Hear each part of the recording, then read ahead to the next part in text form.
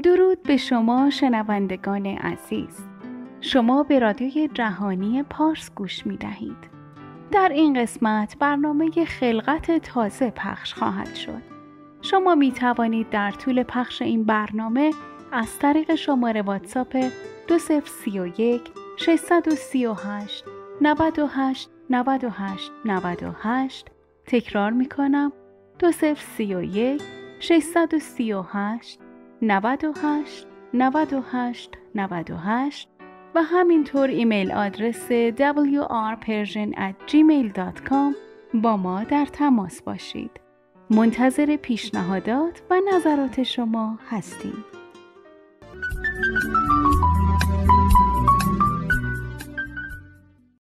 از این جهت بیفهم مباشید بلکه بفهمید که اراده خدا چیست خواهران و دوستان و هموطنان عزیزم سلام گرم دوستارتون سارا رو بپذیرید. یه روزی استکان چایم به دست و از پنجره آشپزخونه به حیات نگاه می‌کردم. وقتی که میگن آسمان لاجوردی واقعا آسمان آبی بود و زیبایی خاصی داشت و چندین تکه ابر کوچک در آسمان دیده می‌شد و آفتاب طلایی از افقش بیرون اومده بود. هوا نسبتا خنک بود که ناگاه ابر سیاه رنگ همه جا را فرا گرفت و باران شدیدی شروع به باریدن کرد. تلویزیون را روشن کردم. یک برنامه مستند راجع به صحرای آفریقا را نشون می‌داد. این صحرا بسیار خشک و بی آب و علف بود که زمین در اثر خشکی ترک خورده بود و هیچ جانوری را نمی‌شد در اون پیدا کرد.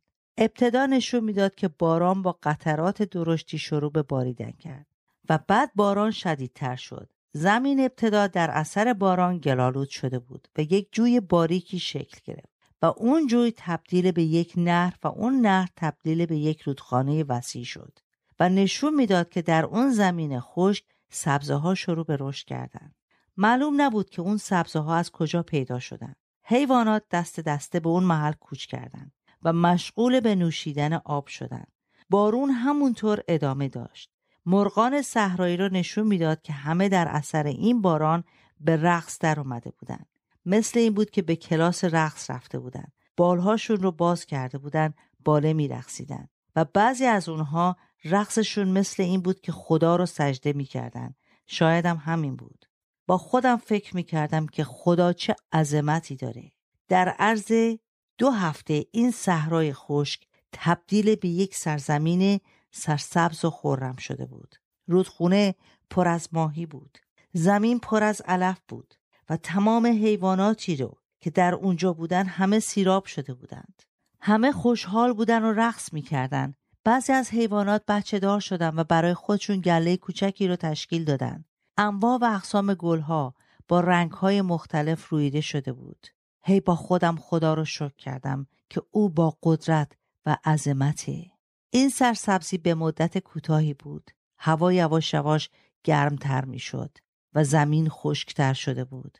بعد از مدتی اون رودخانه پر از آب تبدیل به یک نهر و بعد تبدیل به جوی آب و جوی آب تبدیل به حوزچه های کوچک شده بودند مقدار زیادی از ماهی ها از بین رفتند بعد زمین خشک شد. بعضی از حیوانات از اون محیط کوچ کردند و بعضی از پرنده ها به مکانهای دیگه پرواز کردند. اونایی هم که جایی را نداشتن همه از بین رفتن.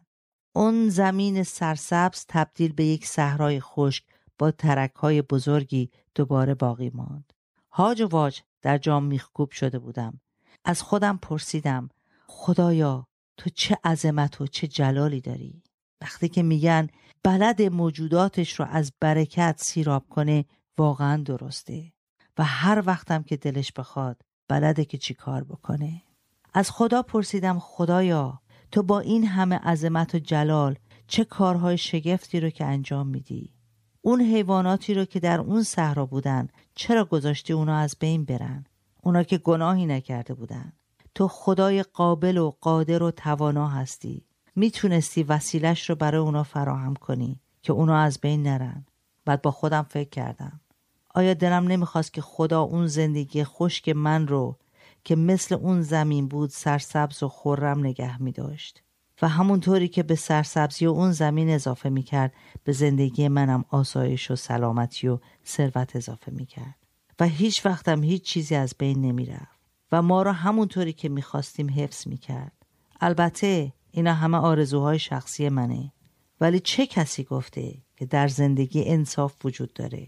به زندگی حیوانات هم نگاه کنین چنین چیزی رو نمیشه پیدا کرد. آهو و خونوادش رو می‌بینین که دارن دست جمعی غذا می‌خورن که یک مرتبه یک ببر یا شیر از یک گوشه پیدا میشه و یکی از بچه آهوها رو می‌خوره. تازه بقیه فامیلش رو هم صدا می‌زنه و از اونا دعوت می‌کنه که با او هم خوراک بشن. در زندگی عدالت وجود نداره. بعد از دیدن این فیلم از خودم سوال کردم. آیا اون بچه آهوی قشنگی نبود؟ بشار مادر آهوه. حالا چقدر قصه می‌خوره؟ ولی در سال بعد همون آهو رو می‌بینین که دارای فرزندان دیگری شده و به زندگیش ادامه میده. تا زمانی که او هم به وسیله گرگ و شیر خورده بشه. این واقعیت زندگیه. ولی هیچ کس حق نداره و اجازه نداره که این سوال رو از خدا بکنه. اگر هم این جرأت رو به خرج بده خدا سکوت رو اختیار می‌کنه. غیر مستقیم به ما میگه به تو مربوط نیست. درست مثل زندگی ایوب نبی. ایوب چقدر زجر کشید. ثروتش فرزندان و سلامتیش رو از دست داد. حیران و سرگردان خاکستر نشین شده بود و سه تا رفیق بدم داشت. به جای اینکه او رو دلداری بدن تازه سرزنشش هم می‌کردن که تو آدم بد و گناهکاری بودی. در صورتی که ایوب مرد خداپرست درستگار و با ایمانی هم بود. از خدا خیلی سوالات کرد گله ها و شکوه ها کرد ولی تا زمانی که پدر آسمانیش نمی‌خواست جواب بده هیچ پاسخی نداشت. ایوب با خودش فکر می‌کرد که من چه کار کردم که باید اینطوری بدبخت بشم و چرا پدر آسمانی من من رو نمی‌کشه که راحت بشم؟ چرا روشنی به مستمن داده شود و زندگی به تخت جانان که انتظار موت را می‌کشند و یافت نمی شود و برای آن حفره می‌زنند بیشتر از گنج ها که شادی و ابتهاج می نمایند و مسرور می شوند چون قبر را می یابند چرا نور داده می شود به کسی که راهش مستور است که خدا اطرافش را مستور ساخته است. زیرا که ناله من پیش از خوراکم می آید و نعره من مثل آب ریخته می شود زیرا ترسی که از آن می ترسیدم بر من واقع شد و آنچه از آن بیم داشتم بر من رسید. مطمئن و آرام نبودم و راحت نداشتم و پریشانی بر من آمد. منم هر وقت که پریشان میشم. از خدا گله و شکایت می‌کنم و از اون می‌پرسم خدایا چرا من؟ چرا اشخاص دیگه ای که بد هستن باید توی آسایش باشن و تو من رو توی آتیش می‌گذاری؟ چرا من؟ حتما خود شما هم از این سوالها از پدر آسمانیتون می‌کنین و خودتون رو با اشخاصی که به نظرتون بد میان مقایسه می‌کنین. جوابتون چی بوده؟ سکوت. فکر می‌کنم که سکوت چیز خوبیه که پدر آسمانی اون رو به کار می‌بره. واقعا خدا خدای جالبیه. یک روزی که با او صحبت می‌کنین و یا تقاضایی رو دارین اون رو براتون اجرا خواهد کرد. و خیلی صمیمیه که ما رو در تعجب می‌ذاره و یک روز دیگه سکوت رو اختیار می‌کنه و در هر شرایط از او سوال می‌کنیم باز هم جوابی نداریم تا موقعش. یعنی وقت و زمان خودش. ایوب گله کرد گریه کرد تا پدر آسمانیش با او صحبت کرد. یعنی پدر آسمانیش او رو مورد مؤاخذه قرار داد و به او گفت. آیا مجادله کننده با قادر مطلق مخاسمه نماید؟ کسی که با خدا مهاجه کند آن را جواب دهد. آیا لویاتان را با قلاب توانی کشید؟ یا زبانش را با ریسمان توانی فشرد؟ آیا در بینی او مهار توانی کشید؟ یا چانه اش را با قلاب توانی سفت؟ آیا نزد تو تذر زیاد خواهد نمود؟ یا سخنان ملایم به تو خواهد گفت؟ آیا با او مثل گنجشک بازی توانی کرد؟ یا او را در میان تاجران تقسیم خواهند نمود؟ آیا سرش را با های ماهیگیران؟ کسی انقدر متحور نیست که او را بر انگیزاند پس کیست که در حضور من بیستد؟ کیست که سبقت جسته؟ چیزی به من داده تا به او رد نمایم. هرچه زیر آسمان است از آن من می باشد واقعا ایوب نبی چه گفتنی داشت که به پدر آسمانیش بگه؟ او حتی نمی‌دونست که چرا این اتفاقها برای او افتاده. ما کتاب رو خوندیم. البته بعد از توضیحاتی رو که در کتاب مقدس نوشته شده خدا می‌خواسته به شیطون ثابت کنه. افرادی را هم میشه پیدا کرد که اگر ثروت و سلامتی رو از اونها بگیری باز هم مرا ستایش خواهند کرد. و این گرفتاری ایوب دلیل داشته. یکی اینکه به شیطون ثابت بشه که ایوب من رو به خاطر برکتی که به او دادم منو دوست نداره. دوم اینکه ثابت کنه که همه کاره پدر آسمانیه و دلیل سوم اینکه به من و شما یاد بده که هیچ کار خدا بدون دلیل نیست. در اینجا اشتباه نکنید. خیلی از خطاها از خود ماست. از خود بشره. از نوع زندگی که بشر برای خودش درست می‌کنه. در اونجا خداوند مقصر نیست. یا اینکه بعضی اتفاقها پیش میاد که نه دست شماست و نه دست بنده خدا. کسی دلیل اون رو نمی‌دونه. شاید اون اتفاق باعث بشه که من و شما رشد مغزی و فکری پیدا کنیم و بیشتر به وجود خداوند پی ببریم و به عیسی ایمان بیاریم. خب عزیزان من امیدوارم که روز خوب و پربرکتی رو در پیش داشته باشید. تا برنامه آینده شما را به دست خدا می سپارم و خدا نگهدار. امیدواریم این برنامه باعث تشویق و بنای زندگی شما عزیزان شده باشد. شما می توانید از طریق شماره واتساپ 2031 638 98 98 98 تکرار می کنم.